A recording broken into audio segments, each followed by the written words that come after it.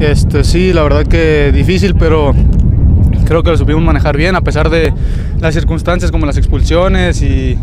el, el equipo rival haciendo su juego, pero bueno, al final se nos dio. Eh, sí, de hecho ahorita el juego directo se tuvo que dar por las circunstancias, como te digo, el equipo así lo proponía, el equipo rival, entonces el juego directo era una de las cosas que teníamos que trabajar hoy.